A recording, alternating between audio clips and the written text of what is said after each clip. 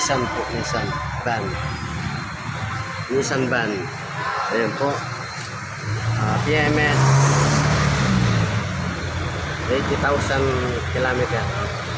80,000 kilometer ah, brakes ah, change oil change oil po sa makina yan po change oil natin. Ito po siya. Ito yung drain plug niya. Naka change oil. Yan po. Sa engine oil po yan. Gusto ng may-ari patiktikan ng todo. Tapos ah, sa gear oil. Ayan po. Change gear oil din. Ayan po. Change gear oil. Ayan po yung transmission. Ayan po and change filter. Yung filter niya. Ito. Change oil change filter change gear oil differential and transmission. Ito po yung transmission.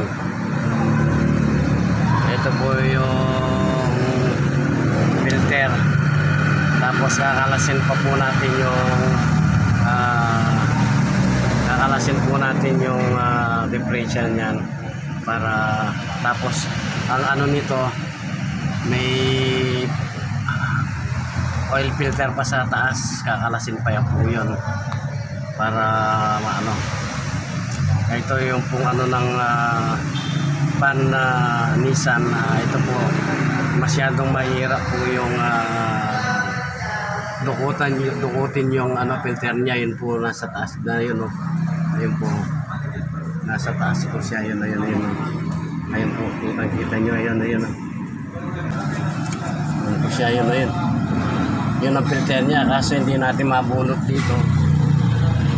Hindi po natin mabunot dito dahil ah, dahil uh, maskip bubunutin natin yung sa harapan kaya medyo patiktikan po natin ng konti. May maingay na daw po sa transmission niya. Kaya tsaka iba na yung ah, takbo parang tigil na po raw siya. Kaya pinachange na yung ah, transmission at saka differential transmission. Change gear oil po. Ito na lang po yung hindi na ano, sabay-sabay na po. Ayan ang main, ah, maintenance ng 80,000 ayan. Tapos siya tapos na po yung preno.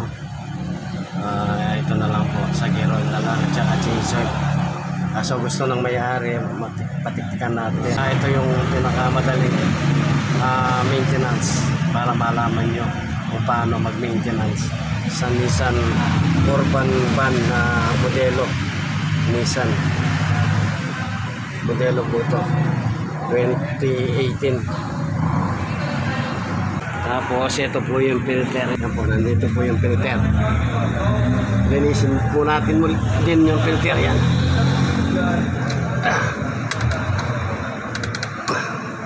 L cleaner filter po ito.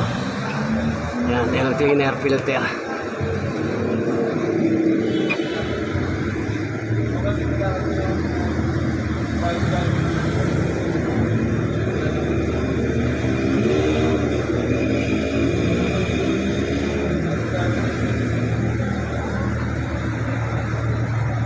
Ganyan lang po mag-maintenance madaling trabaho baka kahit kayo kayo lang po pwede nyo gawin to. Basta kung gusto nyo gawin at least alam nyo kung paano.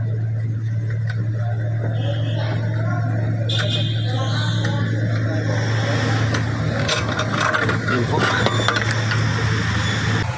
Ito po siya.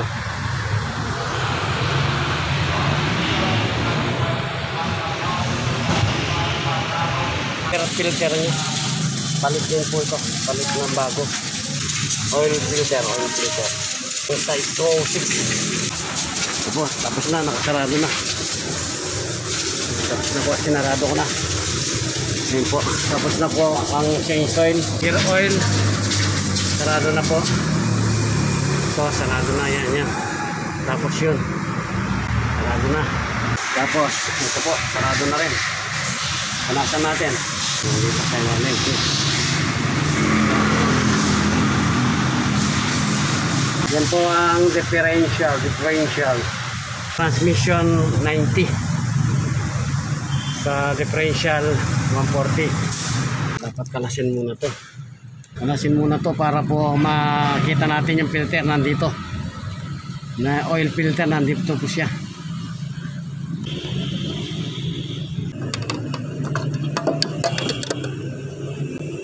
Urban niya po ito, Nissan Urban. Ah, alis na po. Ayan, dito po. Inaalis na natin yung oil filter niya. Nandito. O. Yun. Naalis na po. Ayan o. Po. Ayan. Po. Ganyan po kahirap palitan yung filter ng Urban Nissan 2018. Ayan po.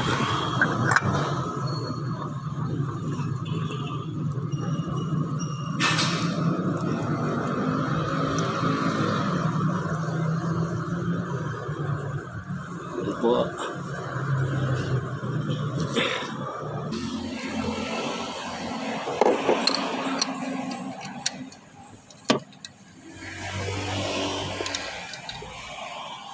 Pakabit na po. Ayan, kinakabit na natin. Ito, patalik. Maigpit na. Yun. Ganyanin po natin para malis yung... Yun, tapos na po.